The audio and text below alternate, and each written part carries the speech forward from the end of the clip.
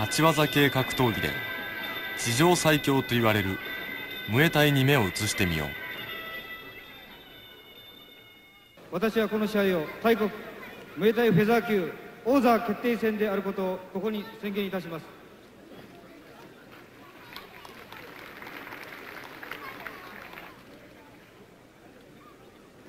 ただいまより大国フェザー級タイトルマッチを行います赤コーナールンピリジュニアフェザー級3位サムランサックムーンスリー。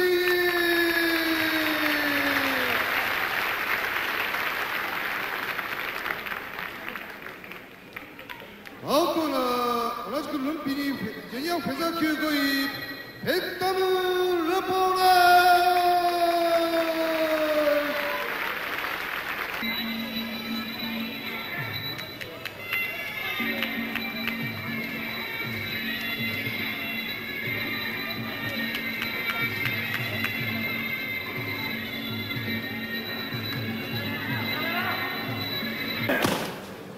さてここでムエタイ六冠王チャモアペット・ハーパランのスパーリングをご覧ください。ミットをうならせる鮮やかな蹴りはとどまることを知らない。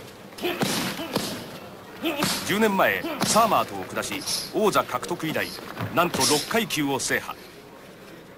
鮮やかな膝蹴りを武器として連勝街道を爆心する無敵現役チャンピオン。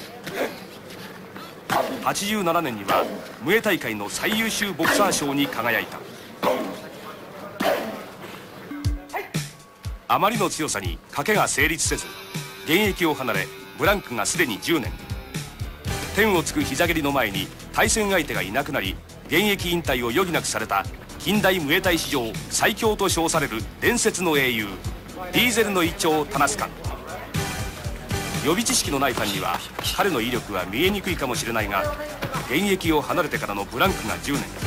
しかも彼はまだ27歳なのである。いかに無敵選手の名にふさわしいかがわかるだろう。今でも近代ムエタイ史において彼ほど鋭利なそして威力がありなおかつ美しい膝蹴りができる選手はいない。Ladies and gentlemen, this is shoot boxing! 打倒ムエタイを胸に秘め戦う男たちの姿がある。まずはシーザーたけしの登場だ。キック時代はミドル級ウェルター級の2階級を制覇。昭和60年シュートボクシングを創設。翌年には全日本フォーク級チャンピオンとなった。今回模範試合の相手を務める力忠勝はそのチャンピオン決定戦で対戦した相手である。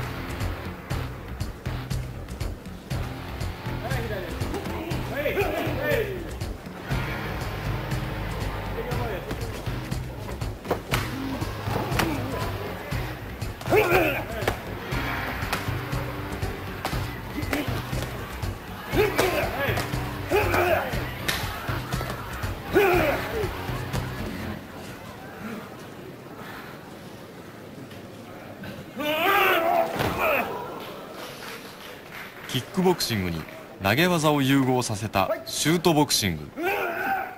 シーザーたけしの戦いは吉高博文村浜武弘に受け継がれ今も熱く燃えている。